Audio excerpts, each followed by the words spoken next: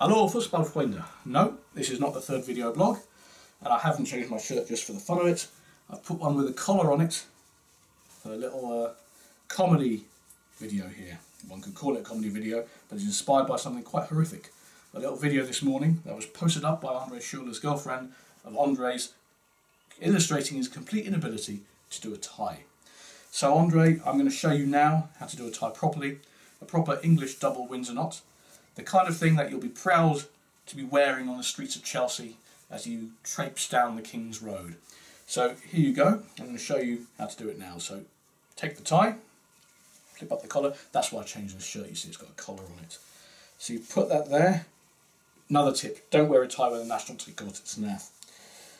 Take the tie there, until you can see, I don't know whether you won't be able to pick it up on the camera, but you'll know what I'm talking about. But there's a little seam here in the tie. Take it there, that's the point that you want, your point of uh, joining, so to speak. So take the bottom part of the tie, pass it underneath the long side, just underneath where you see that join there. Hold that tight, pull the bottom part through, like so, and pull it tight, so you've got this here, little tiny little hole You know that's not going anywhere. Then take the long side again, flip it up and through the V shape and tight again so you have a little nugget there. Look at that, that's absolutely spot on, little nugget there. Basis of this knot.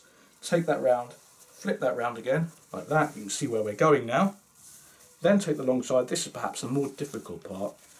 Take it through there and gently work its way through there like that and put it tight and you've got a perfect triangle there, perfect Windsor knot. Uh, if it's done properly that will just smoothly slide up and then you can just put the collar down and there you are.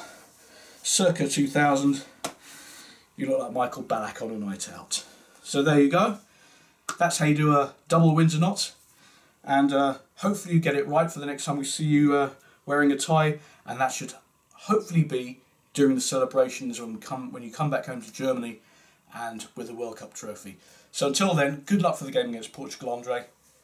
Better luck with tying the tie knots. I know you're better out on the left wing than you are tying ties, but there you go. Viel Glück, bis bald.